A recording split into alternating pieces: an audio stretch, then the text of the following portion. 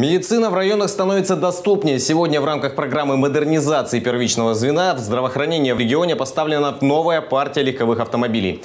Транспорт отправится в центральные и районные больницы деревень, поселков и малых городов. Приобретение машин помогло соглашение с Минпромторгом страны.